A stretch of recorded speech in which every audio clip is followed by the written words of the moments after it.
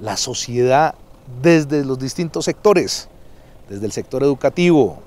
desde el sector gremial, desde el sector sindical, la institucionalidad, las organizaciones sociales, las distintas expresiones políticas, daremos mensaje haciendo unos plantones en las plazas centrales de cada cabecera municipal. Son 42 escenarios que tendrá el Cauca, donde el blanco será el color que predomine como mensaje de que insistimos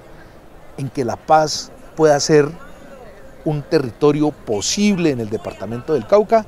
que el fin del conflicto se pueda dar como una realidad a partir de que se pueda implementar un acuerdo y estamos seguros de que la sociedad caucana una vez más responderá positivamente a estos mensajes. Bueno, eh, esta es una iniciativa que estamos promoviendo no solo desde la gobernación del Cauca, sino también los 42 alcaldes del departamento del Cauca, en donde ganó el sí a la paz, eh, pero también los empresarios, eh, las organizaciones sociales, la academia. Eh, en general la ciudadanía, nos hemos juntado para hacer un plantón simultáneo en los 42 municipios del departamento para exigir una cosa, y es que se avance muy rápidamente en un acuerdo de paz que garantice que el Cauca sigue eh, transitando por esta senda eh, de paz en la que hemos sentido en los últimos tiempos y que avancemos rápidamente en la implementación de los acuerdos de paz. Lo hemos llamado Paz al Parque,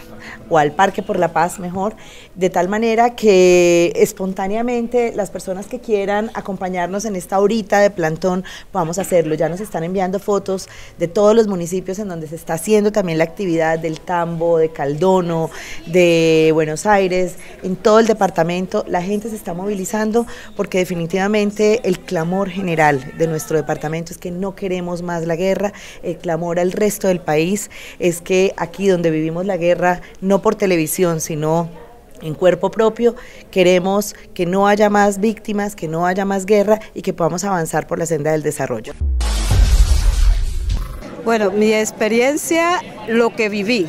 porque lo que eh, contamos en este, en este drama es lo que vivimos cada una de las que participamos.